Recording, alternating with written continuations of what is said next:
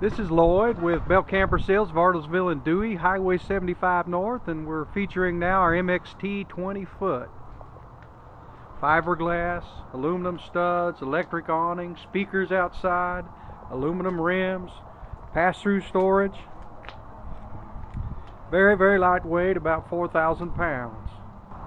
This is the backside of our MXT 20. Notice the arched roof. And the opposing door side. We're inside the MXT 20 foot toy hauler. You notice it has a Murphy bed. That bed folds and goes into the front wall of the trailer. Has two closets, lots of storage above.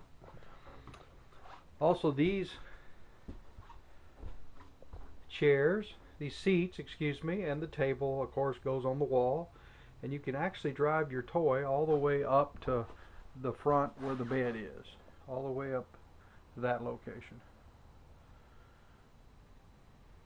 KZ is in the top 10 of the dealer satisfaction index graded by dealerships. KZ always meets the bar inside the bathroom Looking toward the back, you'll see the door and another bed on the wall that comes down, of course. Storage above the dinette table, that is a bed also. All the way around.